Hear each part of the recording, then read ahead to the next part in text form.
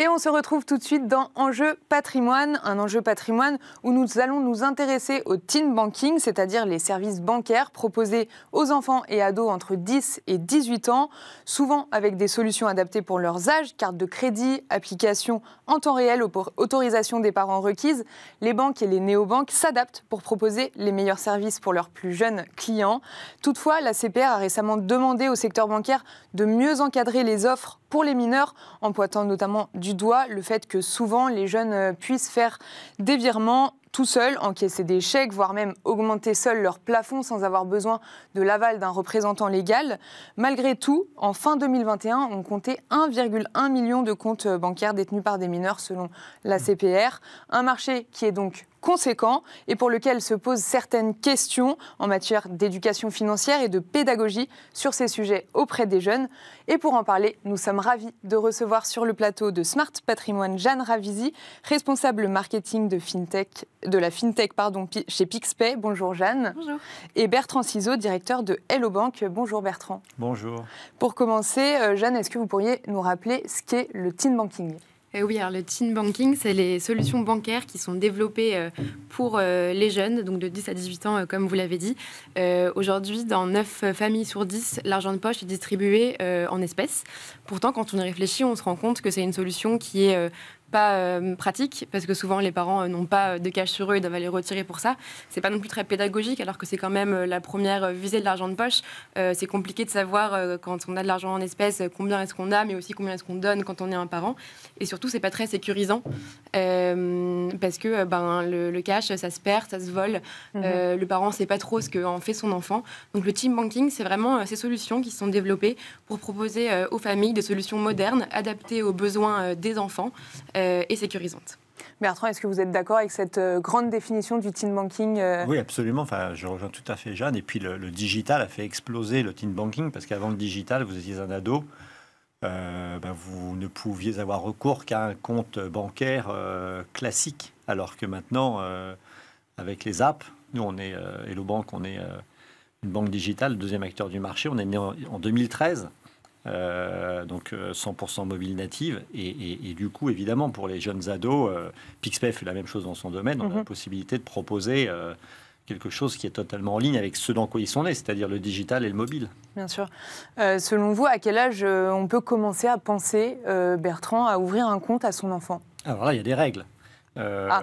Quand vous êtes un parent, vous pouvez très bien commencer par ouvrir un livret à votre enfant nouveau-né.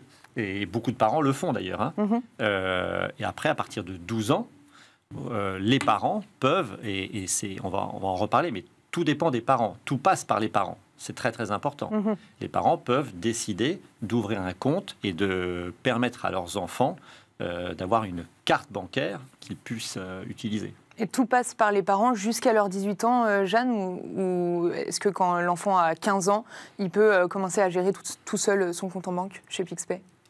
Euh, alors non, on commence plutôt que ça. Donc en fait, c'est vrai qu'après, à partir d'un certain âge, l'ado peut avoir un compte en son nom. Euh, nous, chez Pixpay, en fait, c'est vraiment un compte au nom du parent et le parent délègue le moyen de paiement à son enfant. C'est ce qui nous permet de commencer euh, dès 10 ans. Euh, nous, on propose donc euh, cette solution euh, dès 10 ans, ce qui peut paraître un peu tôt, mais en fait, plus on commence tôt à apprendre à se débrouiller avec son argent, plus on va apprendre facilement. Le fait d'apprendre par la pratique, ne serait-ce que juste de faire une transaction avec une carte, ça peut être en fait un peu impressionnant pour un mm. enfant. donc plus il va prendre sa habitude tôt, plus ensuite il va être à l'aise en grandissant. Et surtout, même si on n'a pas d'argent de poche de façon régulière à 10 ans, on a certainement besoin d'un petit billet pour aller s'acheter une glace l'été ou d'aller acheter le pain une fois de temps en temps, ou on reçoit un petit billet pour son anniversaire. En fait, le fait de déjà l'avoir euh, sur sa carte, de pouvoir voir sur une application ou l'application de son parent combien est-ce qu'on a, euh, c'est déjà en fait euh, le début de l'éducation financière. Pourquoi, selon vous, Jeanne, les solutions pour les enfants doivent leur être vraiment adaptées pour leurs âges, etc. Euh, parce qu'en fait, c'est une cible qui est bien particulière et c'est vrai que avant que euh, ce teen banking apparaisse, on considérait euh, les enfants et les ados uniquement comme, comme les comme les enfants des clients des banques traditionnelles, alors qu'en fait, c'est une cible qui a vraiment des usages et des besoins particuliers. Se, se faire payer un babysitting, par exemple, euh, pouvoir acheter en ligne, c'est quelque chose qu'ils veulent en fait beaucoup plus tôt que, mm. que ce que veulent les adultes. Euh, pouvoir payer avec euh, une carte, pouvoir payer avec son téléphone, partir en colonie de vacances et pouvoir ou en séjour linguistique, pouvoir payer à l'étranger. Tout ça, c'est des besoins en fait avant qui n'étaient pas adressés par les banques traditionnelles et auxquels nous on vient répondre pour combler ce déficit. Vous êtes d'accord, Bertrand Pourquoi, enfin, pourquoi selon vous les, les, solutions pour les jeunes doivent vraiment être adaptées pour leur tranche d'âge? Parce que comme l'a dit Jeanne, quand je disais tout passe par les parents c'est l'autorisation d'ouvrir un compte pour les enfants qui passent par les parents. Mais après, effectivement, le jeune adolescent, avec le digital, il a son app, il a mmh. sa carte, et donc il commence à être indépendant, à pouvoir payer, à pouvoir recevoir des fonds, euh, et, à partir de là, il découvre la, euh, via l'app euh, voilà le début de la vie euh, digitale avec son argent. Mm. Donc euh, il faut lui mettre à disposition un outil évidemment très simple, très mobile parce que ce sont ses codes, mais aussi très sécurisé. nous, on a une offre évidemment gratuite. On s'occupe des enfants de nos clients uniquement. C'est ça qui. Donc les parents sont obligatoirement clients chez vous? Pas obligatoirement, mais majoritairement. Et ce qui nous intéresse, c'est surtout de permettre à nos, à nos jeunes parents clients, parce que Hello Bank, c'est beaucoup une banque de jeunes. Donc, euh, quand vous avez un ado entre 10 et 18 ans, vous voyez, vous n'êtes pas un parent, euh, vous êtes un parent entre 30 euh, et 40 ans. Mhm. Donc, c'est de leur donner la possibilité d'ouvrir un compte gratuit pour leurs enfants, une carte de paiement, des biens instantanés, mhm. interrogation systématique du solde, pas de découvert évidemment, pas de chéquier, gratuit, paiement et retrait gratuit dans le monde pour ceux qui voyagent. Et puis, à partir de là, l'utilisation de l'app d'Hellobank, euh, à partir de laquelle ils peuvent bénéficier de l'expérience. Euh, et donc, c'est parti pour, euh, comme disait Jeanne, leurs petites dépenses du quotidien, mhm. les repas le midi à l'école s'ils s'achètent des choses, l'argent de poche, les petits cadeaux. Mhm. et, donc, voilà, cette autonomie-là, il faut bien l'encadrer. Et, mhm. Mais ils sont assez sérieux. Hein euh, et même parfois assez conservateurs. Enfin, ils font. Est-ce qu'ils épargnent d'eux-mêmes tout seuls? Est-ce qu'ils essayent de mettre un peu de côté parce que le livret euh, euh, qui est mis, qui est ouvert par leurs parents, peut être abondé par eux-mêmes. Par contre, le retrait n'est pas possible. Voyez, les plafonds de cartes, par exemple, sont, sont très courts de 100 et 500 euros pour les paiements et les retraits. L'ado ne peut pas modifier évidemment les plafonds. Donc en fait, c'est un jeu entre autonomiser l'ado Mhm. mais bien encadrer quand même euh, tout cela. Euh, et puis un point très important, mais je pense c'est pareil chez Pixpay, c'est-à-dire que vous avez l'application miroir pour les parents. Mhm. Et donc euh, le parent suit l'enfant et en fait est le premier pédagogue ou le deuxième pédagogue après la banque qui lui fournit, qui elle fournit l'outil mhm. très voilà très à la fois très simple et très sympa, mais quand même très sécurisé. D'accord. Jeanne, selon vous, pourquoi est-ce qu'il est important de sensibiliser les ados et les enfants à leur argent dès le plus jeune âge? Euh, bah Parce qu'en fait, ça, impacte euh, notre vie de tous les jours. Mmh. Euh, moi, je ne comprends pas qu'il n'y ait pas d'éducation financière à l'école, par exemple. je pense que chacun, chaque adulte euh, quel que soit euh, son métier, ses projets, euh, va être amené à gérer de l'argent. Et je pense que c'est un prérequis pour pouvoir ben, mener à bien ses projets et arriver serein dans l'âge adulte, de savoir gérer son argent et ne pas être lâché dans la nature à 18 ans et de découvrir ça.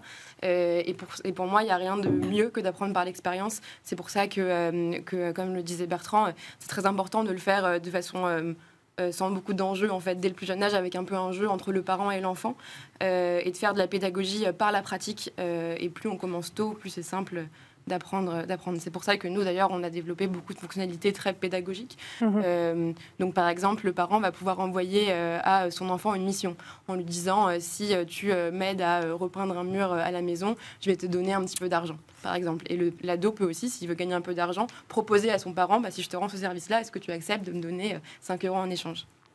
La CPR a appelé euh, les acteurs du, marché bancaire à mieux encadrer euh, leurs comptes et leurs offres euh, pour mineurs. Selon vous, Jeanne, pourquoi?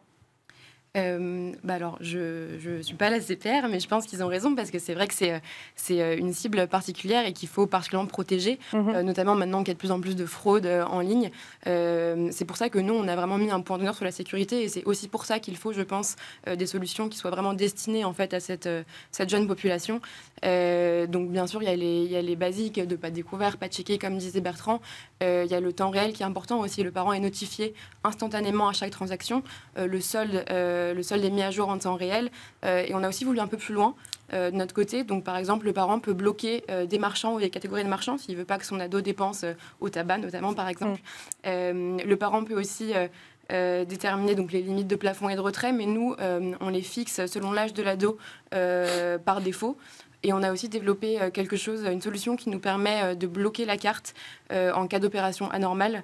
Euh, et la carte est bloquable, débloquable euh, dans l'application euh, en un clic aussi, en cas de perte ou de vol. selon vous, quels sont les, grands risques du coup auxquels peut faire face un ado ou un enfant avec son compte bancaire, avec sa carte bancaire tous les jours? Euh, bah, il y a de plus en plus de phishing, il y a de plus en plus de fraude sur les achats en ligne. Euh, c'est une cible qui achète beaucoup en ligne. Nous, on a 24% de nos transactions euh, qui sont faites en ligne avec les cartes PixPay. donc c'est, là, il y a beaucoup de fraudes de plus en plus qui sont faites et ils ne sont pas forcément très alertes sur ces paiements. Donc nous, on essaye de faire de la sensibilisation. Et pareil, le parent peut choisir de bloquer les, achats les dépenses en ligne s'il le souhaite. et il y a aussi les risques qui seraient liés si c'était un vrai compte au chéquier. C'est pour ça qu'on ne propose mm. pas de chéquier.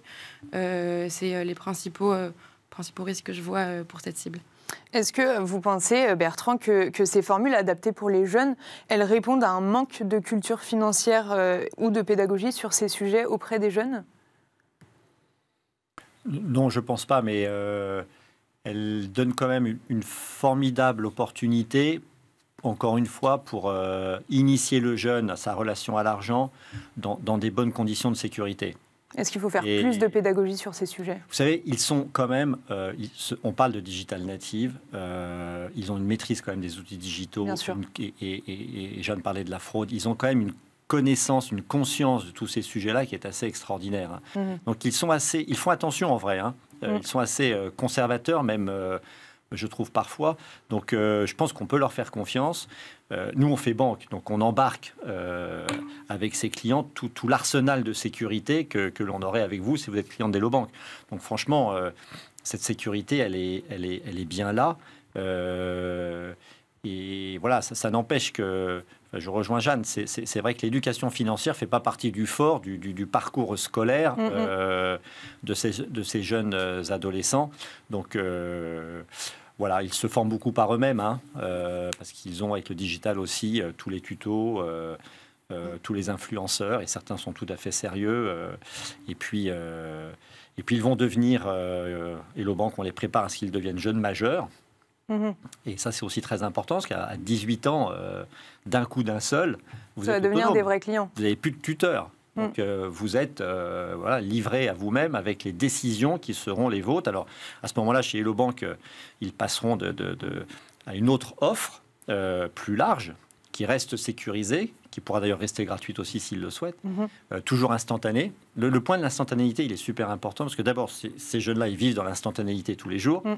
mais c'est un, un, très bel outil de sécurité, comme le disait Jeanne, parce que du coup, tout le monde est informé dans la seconde. Les parents, la banque et évidemment le, jeune. Mmh, bien sûr. Comment, euh, comment faire, euh, Jeanne, euh, vous avez un peu déjà détaillé ça tout à l'heure, mais comment on fait pour apprendre la gestion d'un budget à un enfant, très concrètement, chez Pixpay? Bah, moi, encore une fois, je crois vraiment beaucoup à, à, la pédagogie par la pratique. Je pense qu'on retient mieux et que c'est plus simple de faire ces expériences plutôt que de les apprendre. Donc, Bertrand l'a dit très justement, c'est vrai qu'il y a de plus en plus de ressources euh, sur les réseaux sociaux, notamment euh, pour euh, l'éducation financière. pour autant, c'est vrai qu'il peut être parfois un peu compliqué de faire la part des choses entre les contenus qui sont bons et pertinents et ceux qui ne le sont pas. donc vraiment, je crois à la pédagogie par la pratique. Donc de façon concrète, le jeune, avec son application PixPay, va pouvoir voir ses postes de dépenses mensuels, mhm. leur évolution, définir des objectifs pour mettre des sous de côté chaque mois. Euh, économiser pour un projet en, particulier. Il va aussi pouvoir suivre l'empreinte carbone de ses dépenses, parce qu'apprendre à dépenser, c'est aussi se rendre compte que sa consommation a un impact, et avoir un bilan carbone à la fin du mois euh, qui euh, est comparé avec les autres ados de son âge. Donc c'est vraiment avoir cette vision globale sur combien d'argent j'ai, comment je le dépense, combien d'argent je gagne, et comment je fais pour m'améliorer au fil des mois. je pense quand même qu'il y a un déficit d'éducation financière et d'ailleurs, euh, aujourd'hui, il y a 4 adultes sur 5 en France qui pensent qu'ils manquent de connaissances mm. euh, sur euh, les questions financières. Donc c'est pour moi vraiment important de le faire, de le faire mieux pour la future génération. Merci beaucoup Bertrand Ciseaux, directeur de Hello Bank, et Jeanne Ravisi, responsable marketing et de la FinTech chez Pixpay, d'avoir répondu à toutes ces questions sur le plateau de Smart Patrimoine. Et quant à nous, on se retrouve très vite sur Bismart pour un nouveau numéro de Smart Patrimoine. À très vite.